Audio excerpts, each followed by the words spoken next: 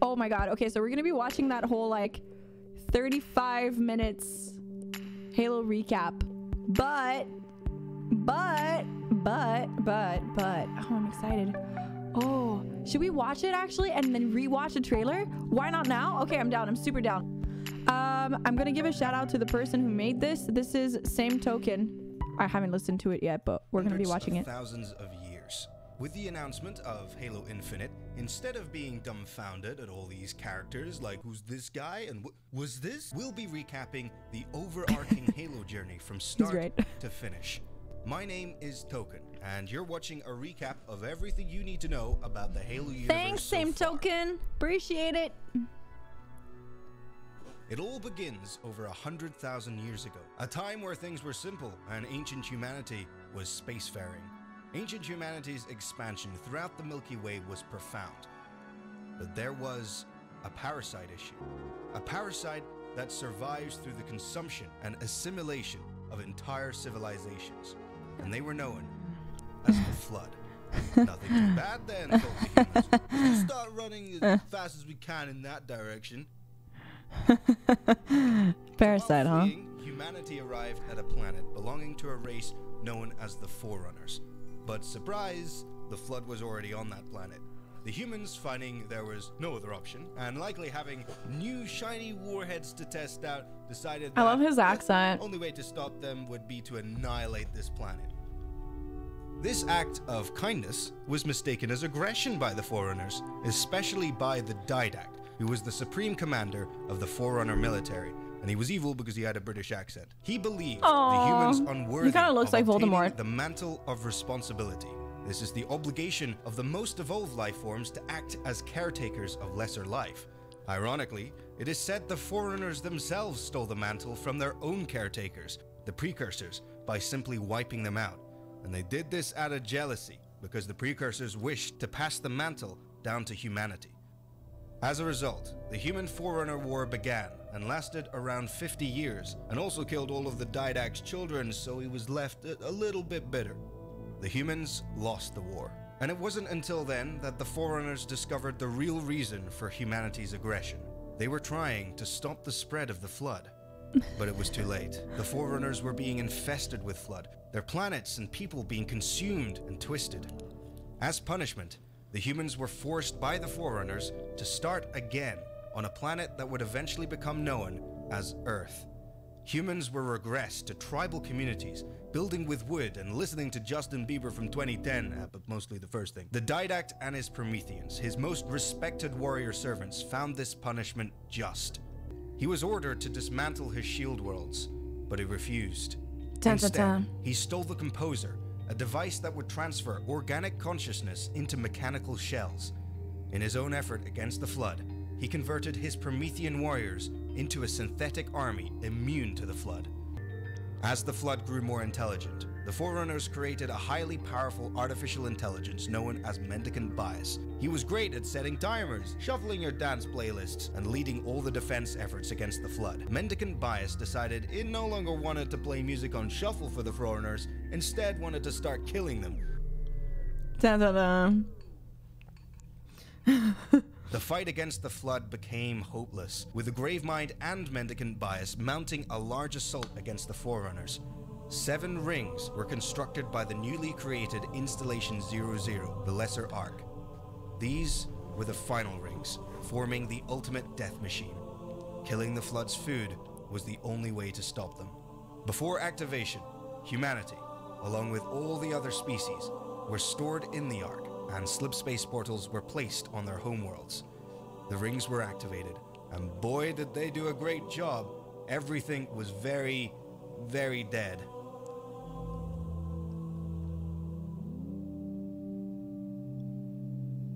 Fortunately, the slip space portals worked. Humanity was transported to Africa, and by the 2500s, humanity had once again spread out across the galaxy. But only the remnants of the Forerunner civilization exist. Humanity entered an era of political unrest, with the outer colonies feeling there was an uneven distribution of wealth, with them supplying almost all Again. the resources for the inner colonies.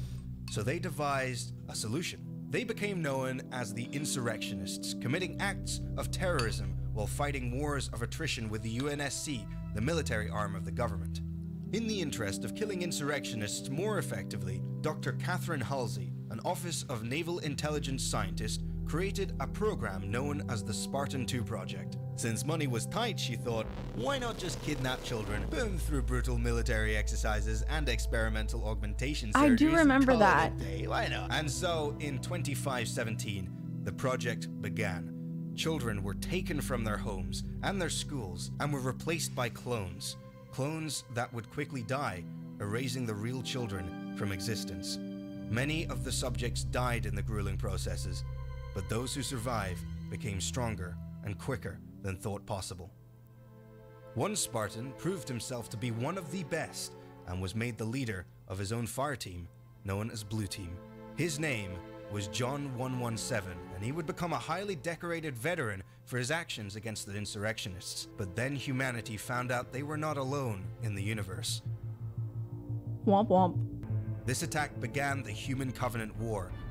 The Covenant had been destroying the outer colonies one by one, starting with Harvest, turning Why their do I have a feeling that like glass I wasn't allowed to watch any of this? During the final days of Harvest, the UNSC Spirit of Fire defended that my the crush? planet under the command of Captain James Cutter. The Covenant had managed to uncover a Forerunner relic on the planet that acted as a map route detailing the locations of other Forerunner artifacts. Using this information, the Covenant were pointed to a second human colony, Arcadia. Following them, the Spirit of Fire's crew found that the planet's defenses had already been destroyed, with the Covenant discovering more Forerunner ruins. As Professor Ellen Anders, a researcher on the Spirit of Fire, begins documenting the area, she is kidnapped by the Arbiter, a rank in the Covenant that is bestowed upon those who are shamed, so they may regain their honor from death in battle. With Anders, the Covenant wanted to use her to activate a Forerunner dreadnought, as they had found that only humans could activate Forerunner technology. The Spirit of Fire follows them closely, eventually emerging over the Shield World, Etran Harborage. Here, Anders manages to escape back to the Spirit of Fire, but Oh not before God. encountering the Flood, who, despite the Halo array, managed to still exist. Removing their slip space drive and planting it on the Shield World's inner sun, they sent it into supernova, destroying the installation along with the Covenant fleet. Had the Covenant utilized this Shield World's technology, the Covenant would have sent humanity into extinction. However, without a slip space drive, the Spirit of Fire would be unable to return to human space, as traveling below light speed meant they could have been thousands of years away from home. As the ship begins the long journey home, her crew enter cryosleep, not knowing when or where they would be waking up. And in 2534, the UNSC declared the ship lost with all hands. As a result, humanity had no idea of the existence of the flood. As the war progressed, a new Spartan program was underway. Rather than kidnapping children, they could now make discount Spartans, known as the Spartan Threes. Need this Spartan right here, Noble Six. You don't know their name because they're you. Together with Carter, Kat, Emil, June, and George, who's bigger because he's a Spartan too. They make up Noble Team. Noble Team were called to defend ONI Sword Base, where Dr. Halsey was working. An item Kat looted from one of Halsey's scientists contained a plot device important for destroying the Covenant, or something else. Who knows? She knows. Noble assisted with the defense efforts against the invading Covenant, but it became clear the planet was doomed to be glassed. At Sword Base, Halsey instructs Noble 6 to deliver a fragment of an AI known as Cortana to the Pillar of Autumn to escape the planet.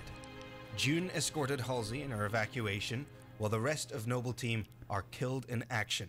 I'm like getting so there's like a lot of like parts and pieces that I'm getting like flashbacks Pillar from. of Autumn escaped and made a blind slip space jump to escape the Covenant, only to accidentally stumble across a Halo ring world, Installation 04. John 117, the Master Chief, who was on board the Pillar of Autumn, was awoken and ordered to protect Cortana. So who cares about the rest of the crew? John Rand didn't stop until he was the sole survivor of a crashed escape pod.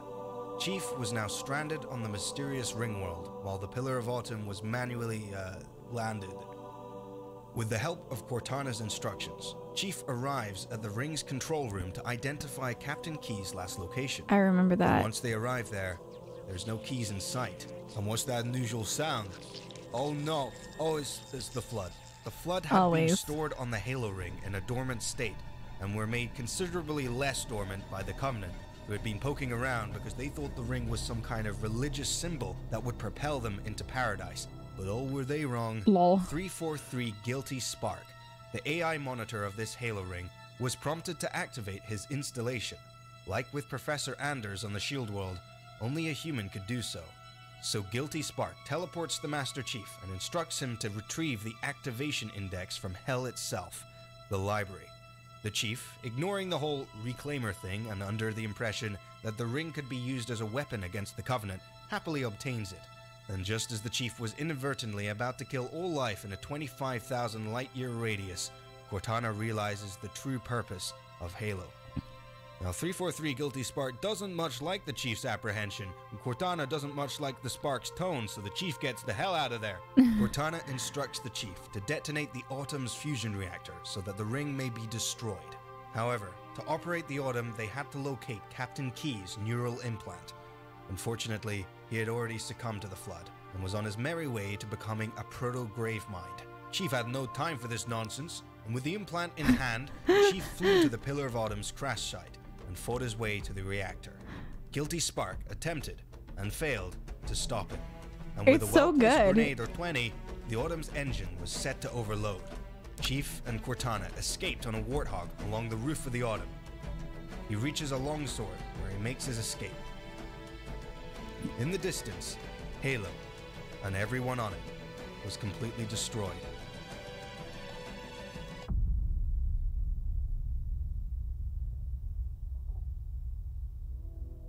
My stomach is loud. I'm hungry. Not long after the destruction of Installation 04, the Sangheili Covenant Supreme Commander, who had failed to stop the Chief, was tried before the High Council. He'd been very bad, and on the human side, Chief had been very good. And you get a medal, you get a medal, And you get a medal too. medals. Suddenly, interrupting the ceremony and Lord Hood's generous medal giving, a Covenant fleet appear out of slipspace. Incredibly, they did not expect humans to be on Earth. The Covenant boarded the space stations with the intention of blowing them up. So, the Chief returned the favor by giving the Covenant back their bomb. He does so, and lands on the In Amber Clad. This ship was commanded by none other than Captain Keyes' daughter, Miranda Keyes. The chief joined the UNSC on Earth in fighting the Covenant threat, successfully holding their invasion. This prompted the Prophet of Regret to flee Earth, hastily slip space jumping right on top of the city of New Mombasa.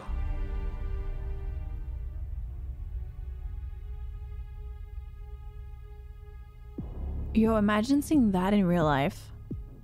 By the way. Exiting slipspace, they discover that regret had led them to another Halo ring. The Prophet's intention was to activate this ring, but the Chief had enough of this, so he catapulted down with a couple of ODSTs, reached Regret, mounted him, and literally punched him to death. As the Chief made his escape, I love this guy High so Charity, much. The Covenant's mobile capital city arrived. To stop him, they started glassing the surface of the ring, so the Chief started running very quickly in the opposite direction. On board High Charity, the disgraced Covenant commander was being given a chance at redemption. And by redemption, they mean suicide missions by taking up the role as an arbiter. His task was to assassinate the leaders of the Heretics, a faction of the government that split off after themselves learning the truth of the Halo Rings. That no, they won't send you to paradise, and that yes, they will kill you and everyone you love. The Arbiter finds and captures Miranda Keyes and Sergeant Johnson, who had managed to retrieve the index. Just as the Arbiter was about to keep the index for himself, Tartarus shows up and reveals that the Hierarchs had intended for him to die. Tartarus then threw the Arbiter off the ledge, right into the clutches of the Gravemind, who already had the chief. It was here that the Gravemind helped the Arbiter question his faith in the Great Journey. That, I mean, obviously, Halo's a super weapon. It was in the Gravemind's interest to prevent the firing of the Halo Ring so that he wouldn't starve. Needed to preserve all that meat. Reluctantly, the Chief and the Arbiter joined forces to stop the Prophets. The Gravemind teleported the Arbiter near Halo's control room, fighting his way there with the help of Sergeant Yo, the Johnson, plot who had commandeered a Dude, when am I gonna watch the movie? Blinded by his belief in the Great Journey, Tartarus forced Miranda Keyes to activate the Halo Ring with her human touch. The Arbiter killed Oh, him no. quickly, or slowly, depends how good you are. And with Tartarus dead, Miranda manages to retrieve the index just in time, Get it, girl. deactivating the Halo Ring. However, 343 Guilty Spark notified them that this had activated a failsafe protocol, sending a signal to the rest of the Halo array, placing all the rings on standby for remote activation from the Lesser Ark. While the Arbiter, Keyes, and Johnson were grappling with Tartarus, the Chief was sent to High Charity to stop Truth. Unfortunately, he is too late, with Truth making an escape to Earth. The Chief had no choice but to leave Cortana behind, as she had the I remember that. In Amber Clad primed for detonation in the case of the ring activating. Using the Gravlift, the Chief launched himself towards the Forerunner Dreadnought the Covenant had procured so that he may finish this fight. With the Chief heading towards Earth, the Gravemind had completely taken over High Charity, and with it, now held Cortana captive.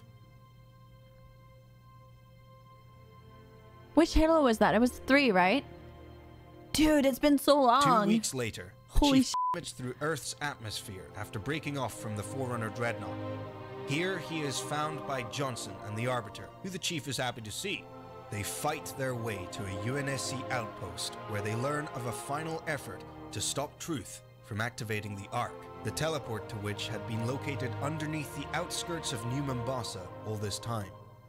Together, the Chief and the Arbiter destroy the Covenant's anti air defenses so Lord Hood could attack the Prophet's fleet. But Truth activated the artifacts, creating a slipspace portal which the Covenant then enter. At the same time, a flood infested ship crash lands nearby. Of course. And on board, they discovered a UNSC construct which happened to be naked and blue. This turned out to be a recording from Cortana, urging Naked them to reach lol. the Ark. The humans and an allied Sangheili faction head through the portal, aided by 343 Guilty Spark, who without his ring had no other purpose. Aw. They arrive at Installation 00, which existed beyond the edges of the Milky Way galaxy. But they are closely followed by the Flood, arriving on High Charity, quickly infesting the Ark. Truth kidnaps Johnson to activate the rings, killing Keyes in her attempted murder suicide. Johnson is then forced to activate the rings against his will, which is definitely cheating. As the Chief and Arbiter fight towards the control room, the Gravemind forges a truce once again to stop Truth. With the support of the Flood, the Covenant forces were quickly dispatched, allowing the Arbiter to kill the partially infected Truth, who at this point was probably really hoping for this great journey thing to work out.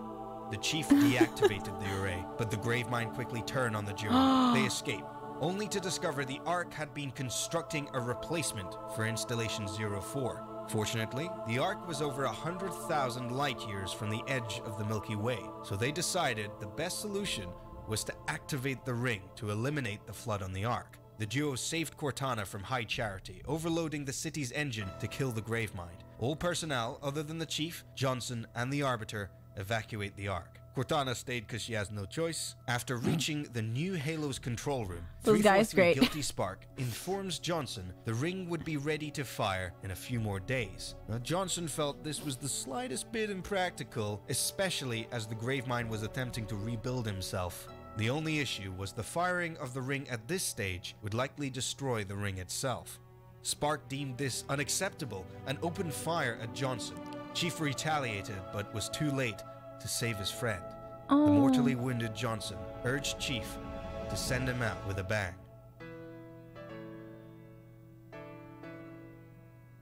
With the ring activated, this was an easy request. The Chief and Arbiter raced towards the Forward Unto Dawn as the ring shaked itself to destruction.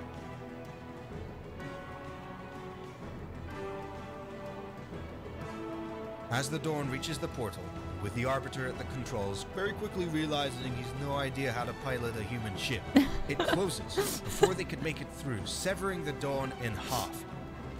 The Arbiter's side ended up on Earth, and the Chief and Cortana ended up in an unknown location in space. The Chief, with no other option, climbed into a cryotube, asking Cortana to wake him when the game received higher than 90 Metascore. And it did! So, two years following the Ark's event, Dr. Catherine Halsey is detained and interrogated for, well, kidnapping children and turning them into super soldiers. Shortly after, she was released under tight supervision, which is basically scot-free after what she did. And on the year 2557, I love Cortana wakes the chief as the dawn is boarded by the Covenant. Cortana explains that her erratic behavior earlier was being due to rampancy, a known trade-off with advanced AI. As they age, they begin to think themselves to death. Chief suggests attempting to find a ship and fly back to Earth to see if Dr. Halsey could fix this, which given their current situation is very glass half full. The chief reaches the cartographer, fighting a new foe along the way, the Didact synthetic Prometheus. The cartographer reveals a signal coming from the UNSC supercarrier Infinity. They decided it would be a good idea to enter the big hole in the strange planet.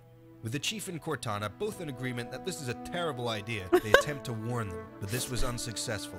They attempt to follow the Infinity signal, discovering an unusual spherical object to be its origin. It opens, inside revealing the Didact, he quickly defeats the chief, declaring that the Forerunners will be returning. He makes a few remarks about how weak humanity is. Clearly, someone's I didn't know that. The chief escapes the Didact, quickly retreating because, yeah, he's, he's a little weaker than the Didact. He makes his way to the Infinity while fending off the Prometheans and the Covenant who have joined forces, because why not? Arriving at the ship, the chief is introduced to the cheerful Captain Andrew Del Rio and Commander Palmer, who is herself a Spartan 4, voluntarily rather than childhood abduction. Rio orders an attack on the gravity well that is keeping the Infinity from leaving. Before the chief is able to complete his objective, however, the deceased librarian comes to him in a vision, telling him to use the Force, and also telling him about the history of the Forerunners, the existence of ancient humanity, and the Didact's intentions to compose humanity in its entirety.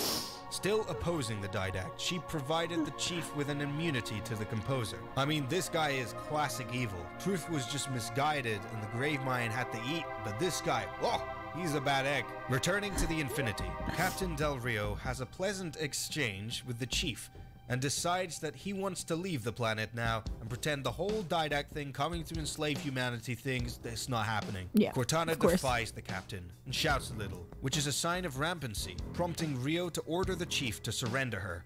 Which, I mean, fair enough, policy is policy, but that ain't gonna happen. So, the chief steals a pelican and attempts to stop the Didact himself, which after everything he's been through is basically masochism at this point. Before the chief could reach him, the Didact escapes, escorted by the Covenant. Reaching one of the ships, the chief clings on for dear life as they enter slipspace, pursuing them to Ivanoff's station where the composer resided. Failing to fend off the Didact, he obtains the composer and activates it on the station's crew, turning all but the chief, thanks to the librarian's gift, into ash.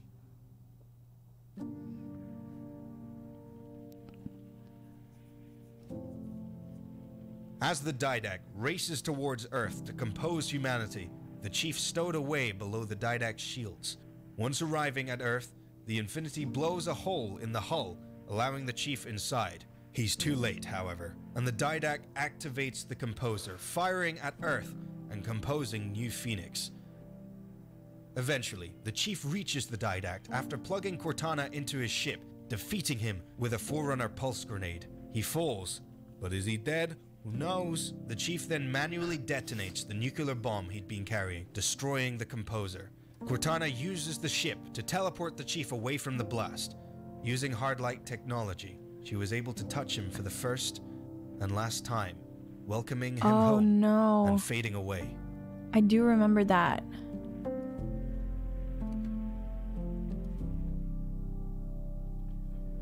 I think that's the last thing of Halo that I saw.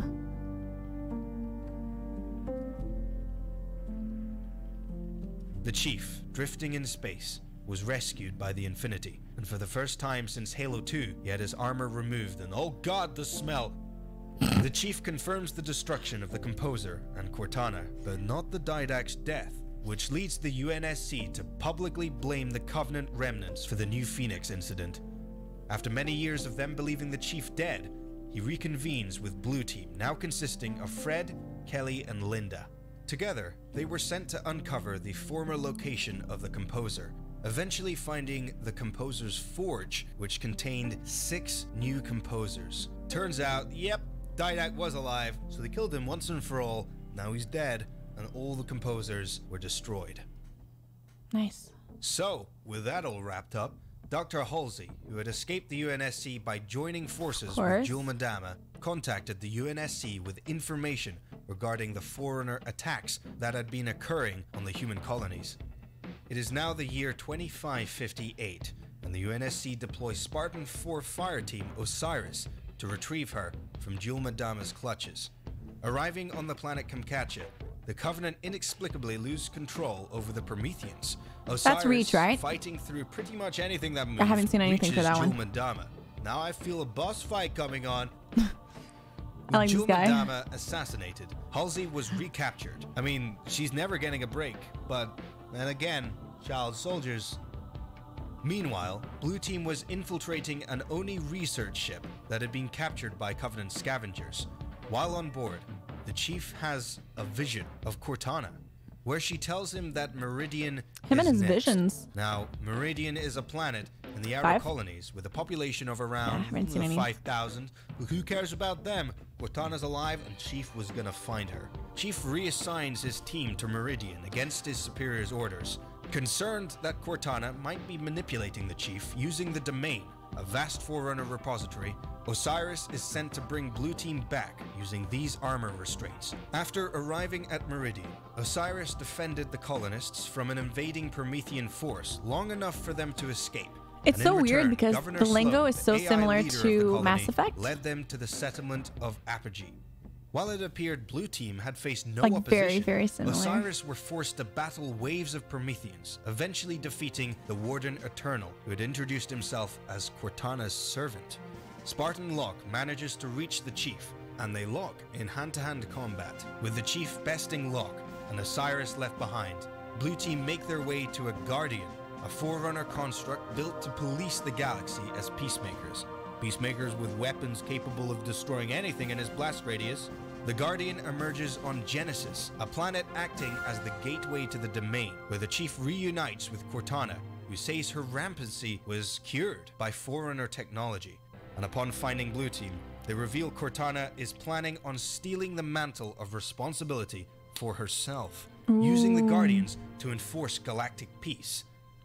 The chief, realizing this is a terrible idea, attempts to talk Cortana down, refusing. She confines Blue Team in a Forerunner cryptum and literally takes them with her. Osiris manages to return control of Genesis back to Exuberant Witness, who steals back and releases Blue Team just as Cortana leaves on a Guardian. AI across the galaxy pledge their allegiance to Cortana.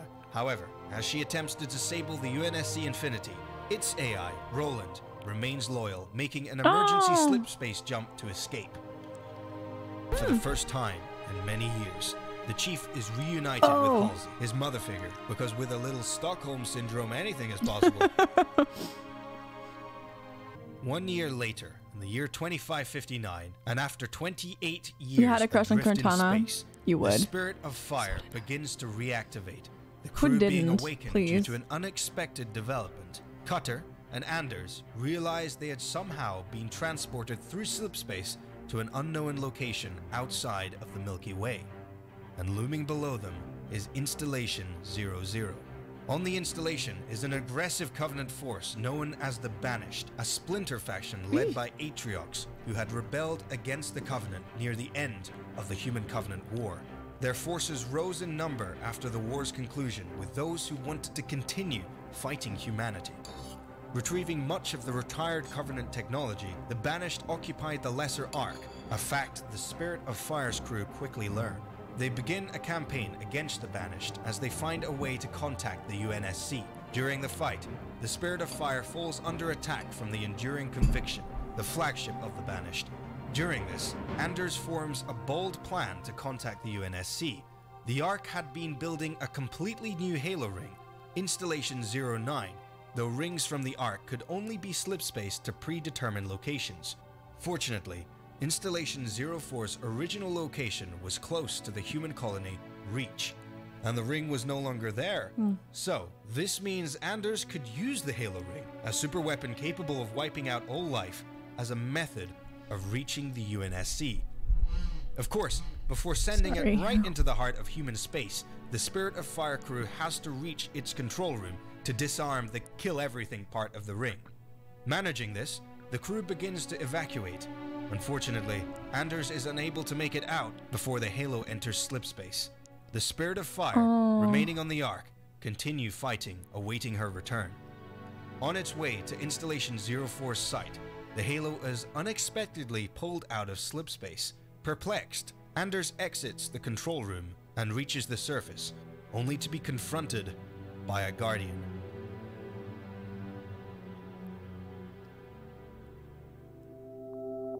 And this brings us to now. Following an intricate and exciting journey, Halo continues with Halo Infinite.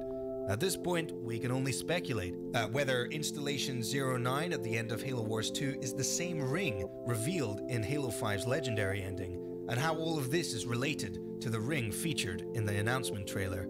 All I can say is the Halo universe has so much more life to give, as does the Master Chief story. And by looking at the latest trailer, with the style and the location and the music, 343 are listening to the fans, and I must say I am feeling even more confident about the next installment. I do hope this video helps to reconcile yeah. Halo's behemoth of a universe, but this only skims the surface. There are far more stories that have been told and are yet to be told. Uh, here, I'm gonna give you guys a, uh, a link to that. Go subscribe to the dude. Uh, this guy is great. Um, and I want to play Halo as well, man. um, I mean, I guess we can do a full playthrough. Know, people are all about it. I love this guy. He's great. Mm, subscribe. Um, yeah, man. Maybe we could do like a whole freaking week, like a Halo week or something. You know? Maybe that would be fun.